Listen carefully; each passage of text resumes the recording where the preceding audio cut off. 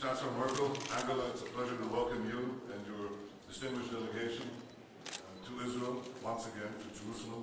Uh, you had uh, been the pioneer of these uh, governmental meetings.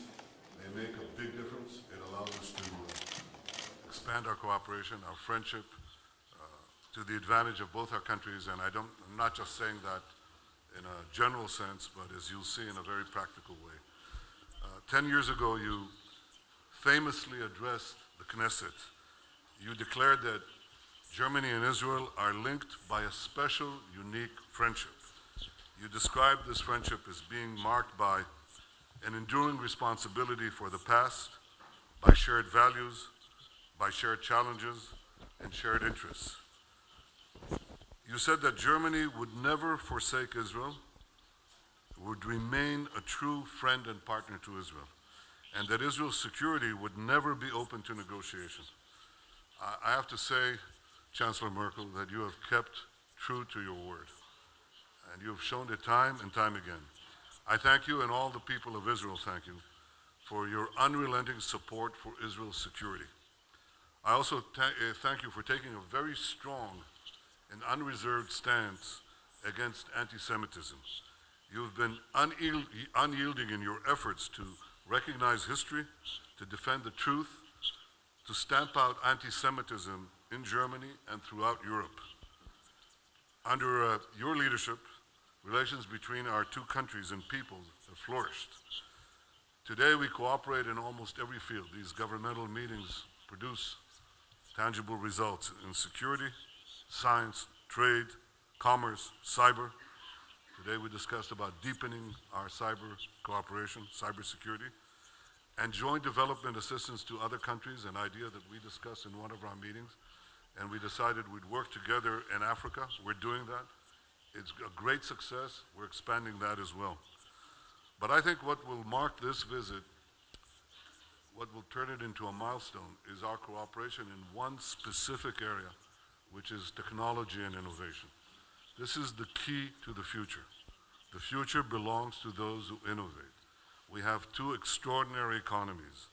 Germany is one of the great economies of the world. It has singular capacities in science, in industry, in technology. Israel is uh, among the leading innovation nations in the world. Some say right there at the top.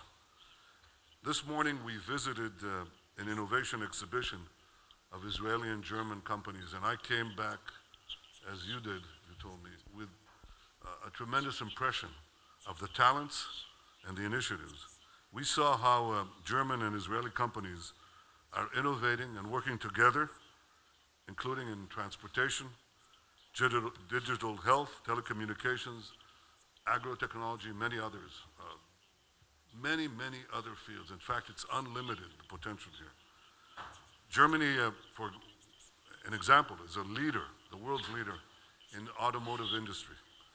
Israel is a global leader, and it's become a global leader just in a few years, of uh, autonomous driving technology.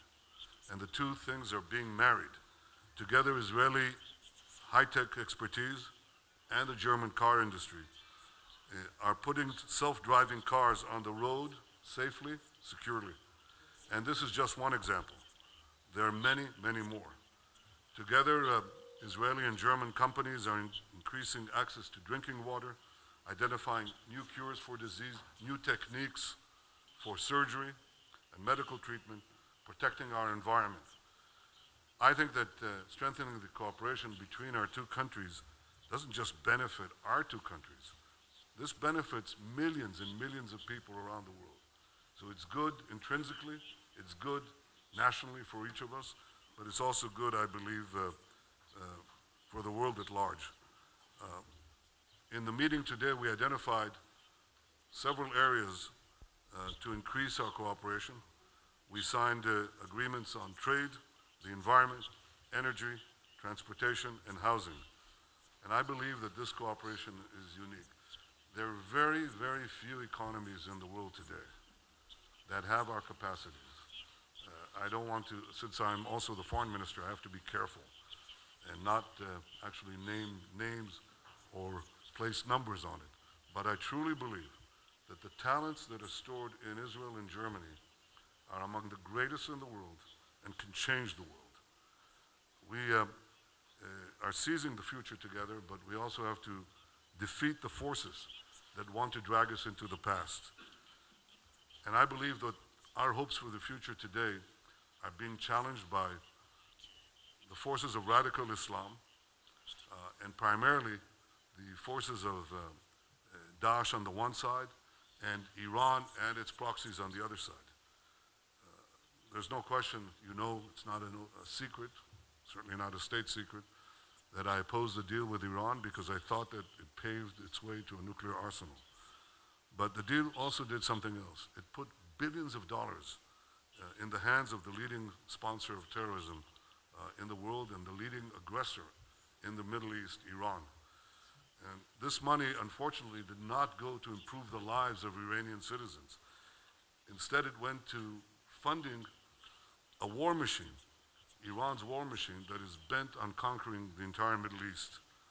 And I have to say that Iran's aggressive activity also extends to Europe.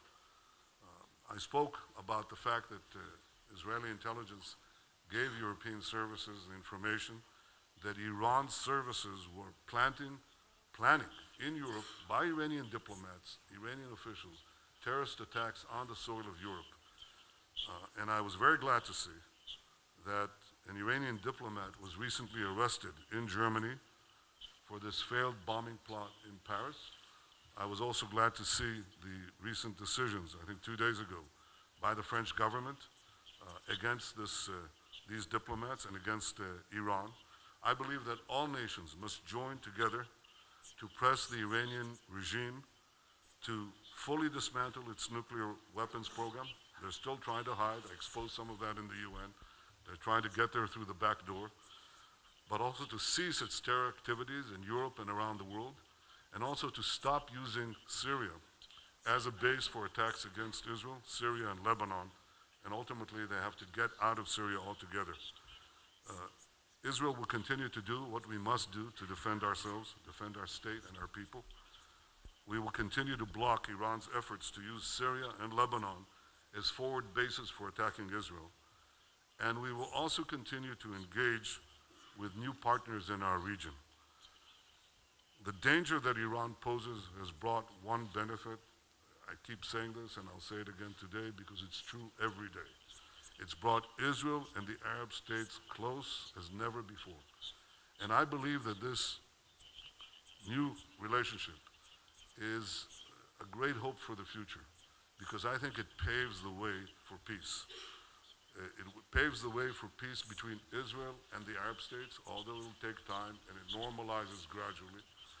But I think ultimately it will help us reach peace with our Palestinian neighbors if they decide, if they decide to embrace peace uh, instead of trying to uh, squeeze Israel into impossible conditions that won't allow it effectively to survive here. Uh, I'm sorry to say that we don't see this attitude on the part of the Palestinian Authority, and I think this, I think countries have to stand up and tell them, cease what you're doing, especially the choking of Gaza right now which will, uh, could lead to uh, very difficult consequences. Uh, I know, Angela, that you are committed to a secure and stable Middle East. I think that the strong ties between Israel and Germany can provide an example to this region and to the rest of the world.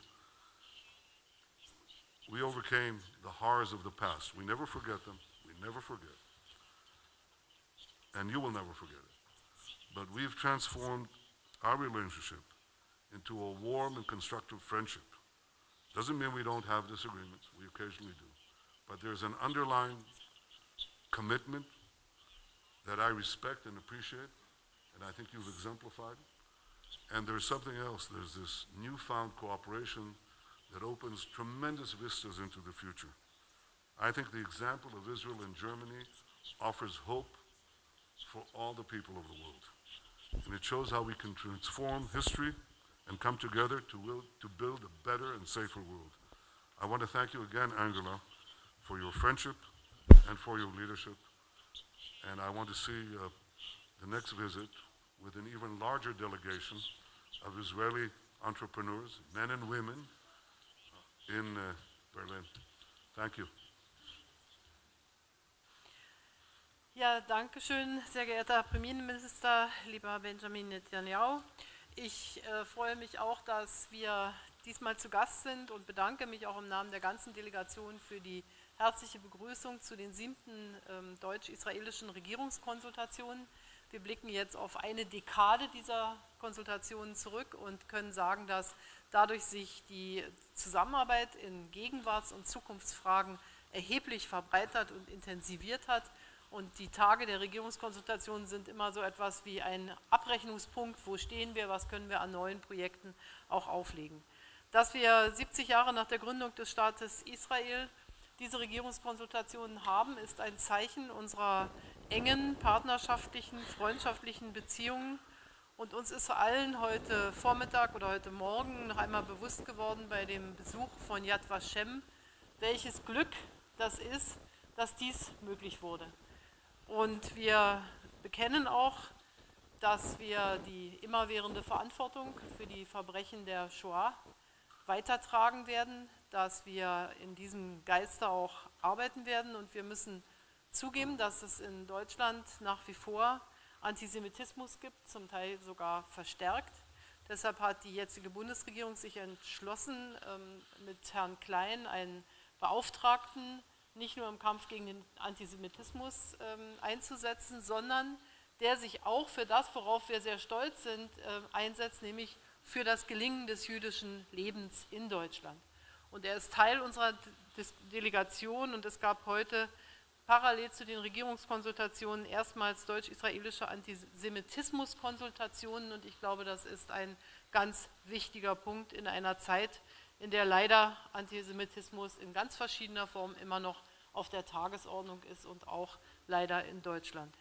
Wir haben einige neue Weichen gestellt. Ich glaube, dass unsere Zusammenarbeit in wirtschaftlichen Fragen diesmal gestärkt wurde, dadurch, dass die Unternehmensdelegation dabei war. Wir haben zum ersten Mal ein solches Wirtschaftsforum besucht und gesehen, dass ähm, ausgehend von der sehr langwährenden wissenschaftlichen Zusammenarbeit, die zwischen Deutschland und Israel besteht, sich das jetzt ausweitet in Richtung eben auch der privatwirtschaftlichen Zusammenarbeit.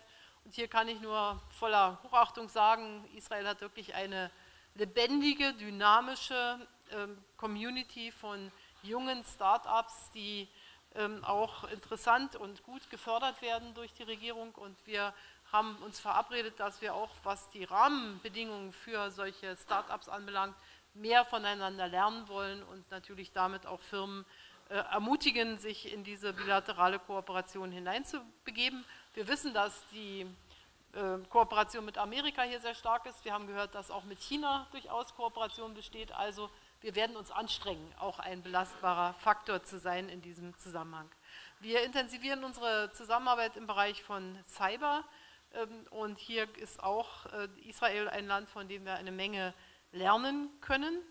Wir werden unsere Entwicklungszusammenarbeit fortsetzen, die wir in Drittländern äh, durchführen, in afrikanischen Drittländern. Das ist ein sehr spannender und interessanter Punkt und die jetzige zeitliche Beschränkung wollen wir sozusagen aufheben und das weiterentwickeln, auch in neue afrikanische Länder hineingehen. Und wir haben uns in dem Kommuniqué, die Regierungskonsultationen selbst finden ja noch statt, es gab bis jetzt nur bilaterale Gespräche, dann auch dafür ausgesprochen, ein deutsch-israelisches Jugendwerk ähm, zu gründen und voranzubringen. Ich glaube, der Jugendaustausch ist von elementarer Wichtigkeit, damit wir auch in Zukunft sehr intensive Beziehungen haben, denn die Zeitzeugen der Shoah, des Holocaust, sie sterben, sie werden bald nicht mehr unter uns sein und wir müssen sicherstellen, dass diese immerwährende Verantwortung auch gelebt werden kann und das kann durch nichts besser geschehen als auch Kontakte zwischen den jungen Menschen.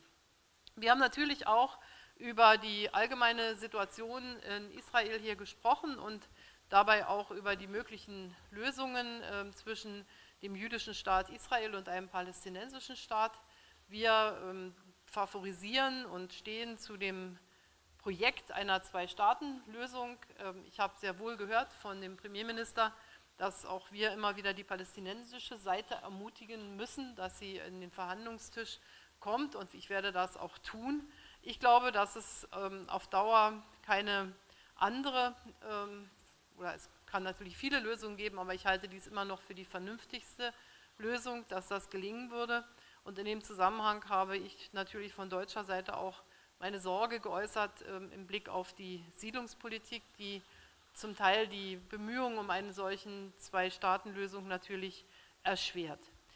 Wir äh, haben über die gesamte Umgebung gesprochen. Ähm, das Interesse an einem stabilen Ägypten eint uns. Deutschland hat seine Beziehung zu Ägypten auch verstärkt. Wir haben natürlich über die Herausforderung und die Gefährdung Israels durch den Iran gesprochen.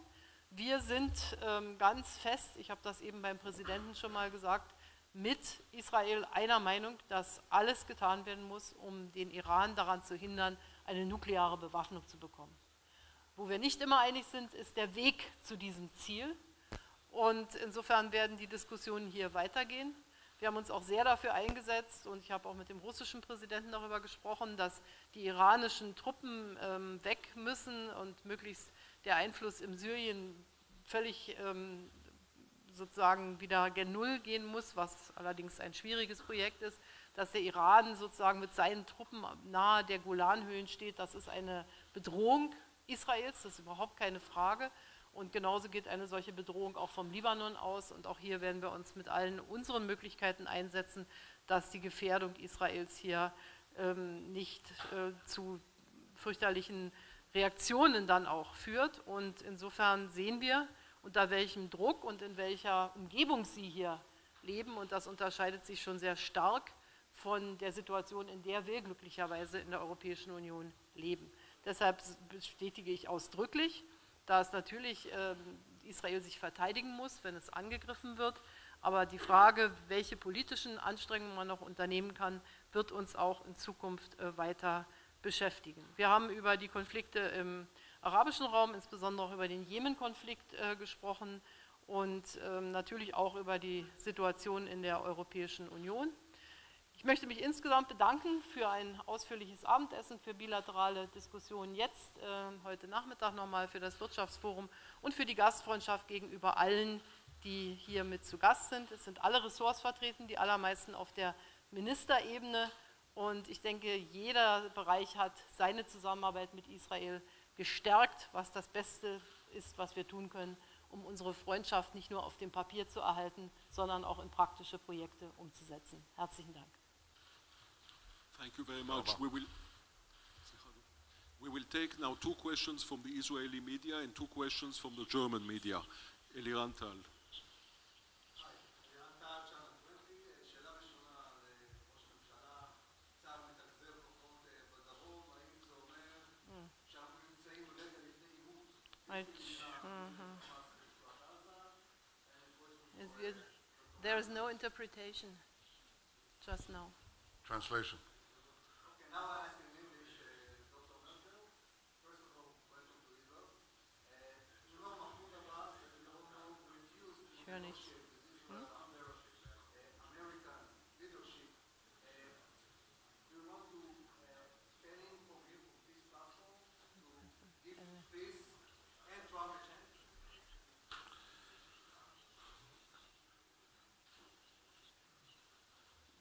המצב בעזה הוא... אה, ist keine, keine Would you like to Übersetzung. answer first? Der, da ist keine Übersetzung und da ich immer mit der Übersetzung beschäftigt war, habe ich mich nicht.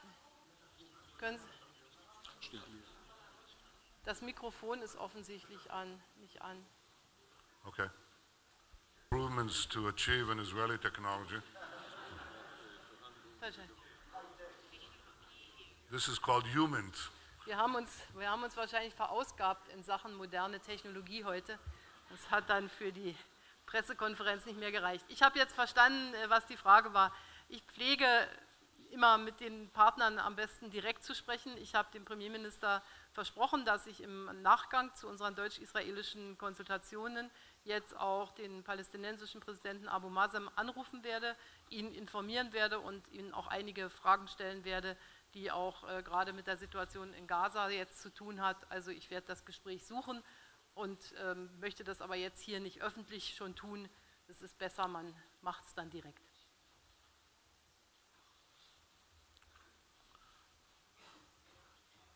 המצב בעזה מתחלק לשניים. קודם כל, יש שם כמובן ניסיון קבוע של חמאס להתחמש ולהתארגן נגד ישראל, אבל מה שהקדיש את הסאה זה המרכיב השני, ו... כן, אבל תן לי להשיב בבקשה, זה יותר חשוב. Relax, restrain yourself.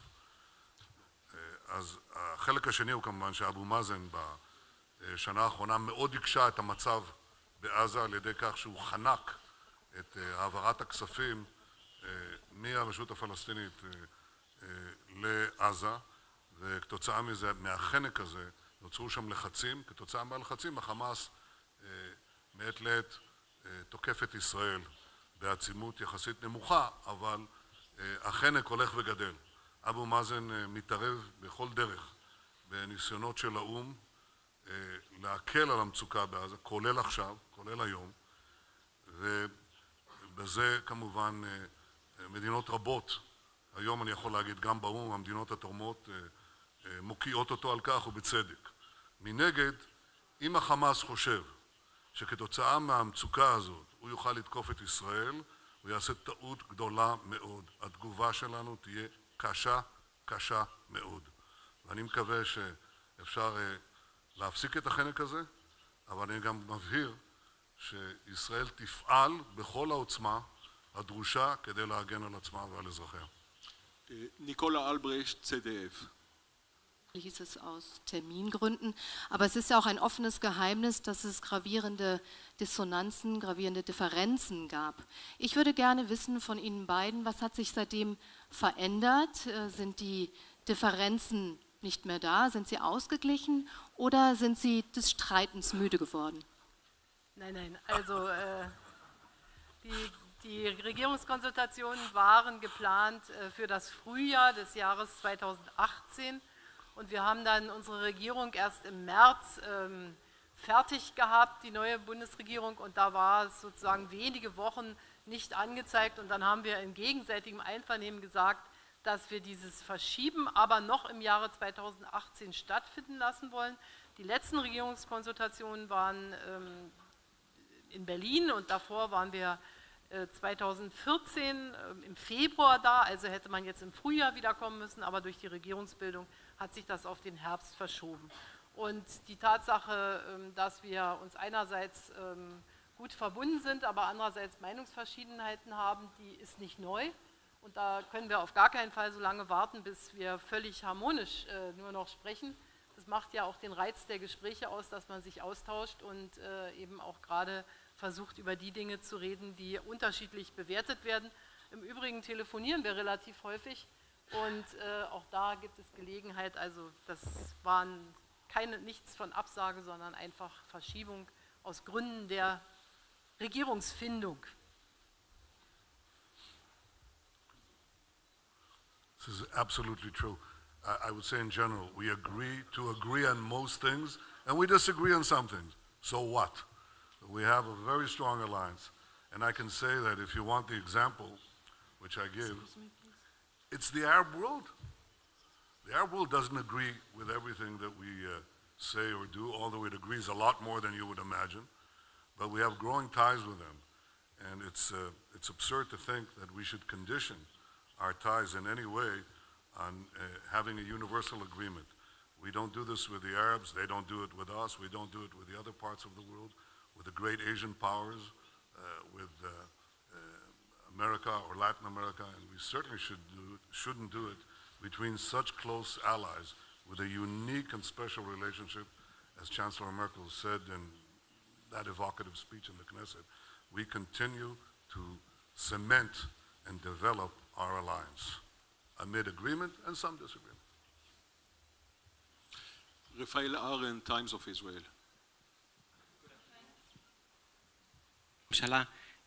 אדוני ראש ממשלה, בנאום שלך בניו יורק בשבוע שעבר דיברת על פייסנות אירופאית, appeasement seitens der ואמרת שהאירופאים לא למדו שום דבר מההיסטוריה. עכשיו אתה עומד מול קנצלרית גרמניה שאומרת שביטחונה של ישראל רזון דטה, שטאצ רזון.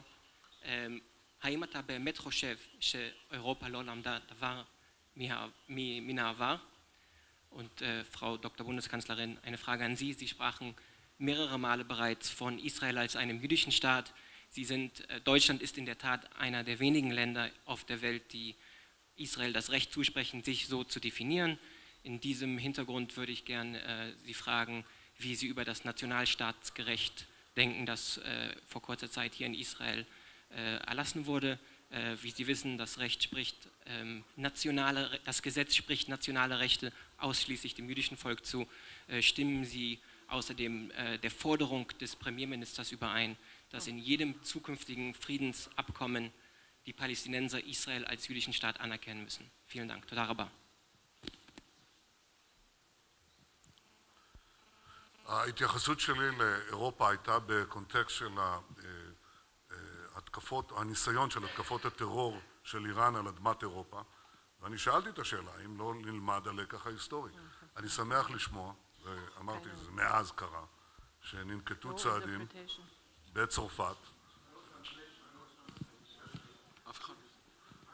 My remarks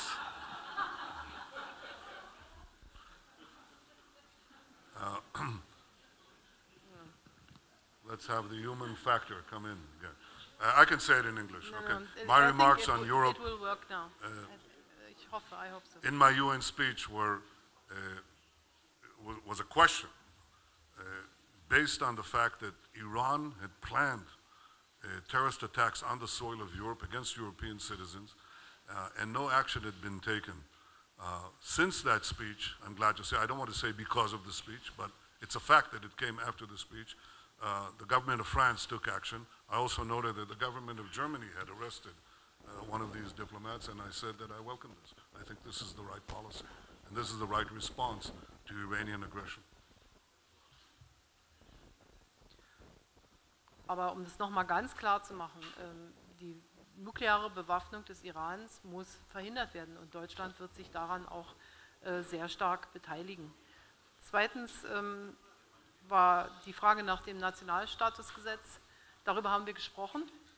Ähm, Und mir ist wichtig, und das ist der Punkt, vor dem ich eben auch etwas Sorge habe, ist, dass die, natürlich das Bekenntnis zum jüdischen Staat da ist, aber die Minderheiten auch ähm, die Rechte haben, die notwendig sind in einer, innerhalb einer Demokratie. Darüber hat es ja auch eine Reihe von internen Diskussionen hier in Israel gegeben. Es ist ja nicht so, dass es das unumstrittenste Gesetzgebungsvorhaben gewesen wäre. Und insofern habe ich natürlich auch eine Reihe von Fragen gestellt. Und trotzdem bekennen wir uns zu dem jüdischen Staat.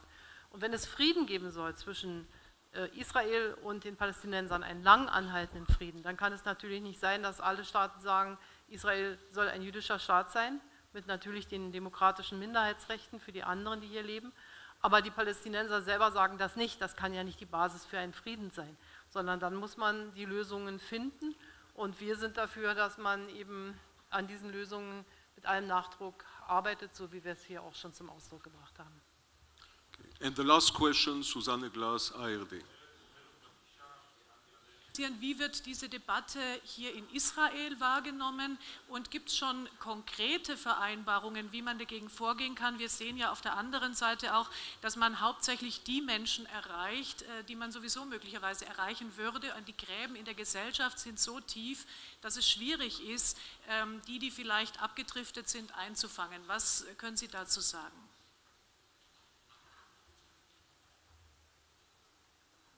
This is directed to the chancellor or to me? Okay, sure. Für, für uns kann ich nur sagen, es ist erstmal unser Problem in Deutschland, sich mit dem Antisemitismus zu beschäftigen. Und da können wir uns vielleicht austauschen über Erfahrungen, aber tun müssen wir es in Deutschland selbst. Und deshalb haben wir mit, dem, mit Herrn Klein einen Beauftragten sowohl für das Gelingen des jüdischen Lebens in Deutschland als auch für den Kampf gegen Antisemitismus. Und ich habe oft gesagt und werde es jetzt äh, noch einmal sagen, und wir haben in diesem Jahr den 80. Jahrestag am 9. November der Pogromnacht, ähm, dass nach wie vor jüdische Einrichtungen in Deutschland nicht ohne Polizeischutz äh, sein können.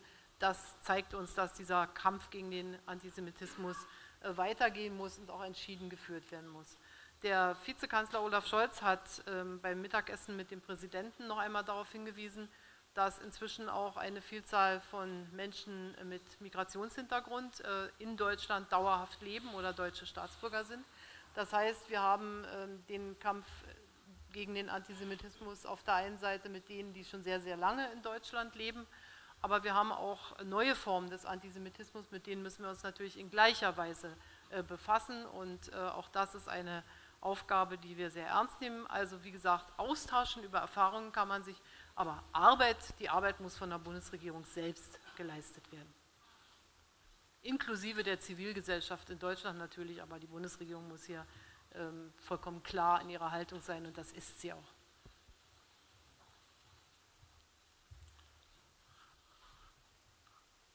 I think you have to uh, analyze where um, the new anti-Semitism comes from. Some of it comes from old sources, uh, like the traditional far-right anti-Semitism.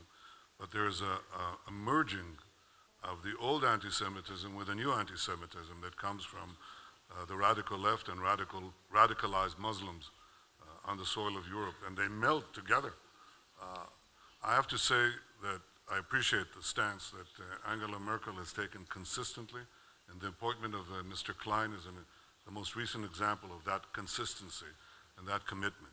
But I also want to say that anti-Semitism throughout the ages has always been preceded by slander. They said horrible things about the Jewish people.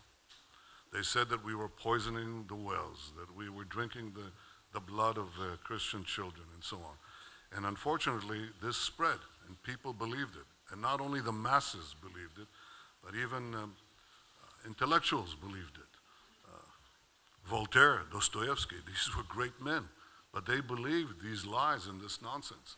And the outrages against the Jews were always preceded by vilification.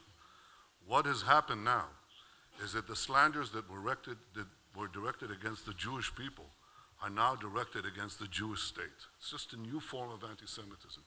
And Israel is accused of horrible things. We were actually accused of poisoning wells, of uh, doing horrible and deliberate things to uh, Palestinian children, of uh, all sorts of wild accusations that are unfortunately believed uh, by masses, but sometimes even by people who should know better. And I think that fighting anti-Semitism today means fighting uh, not only the attacks on individual Jews, but on the attack on the Jewish state and the vilification that it undergoes. And this is a, a big task. It's not over.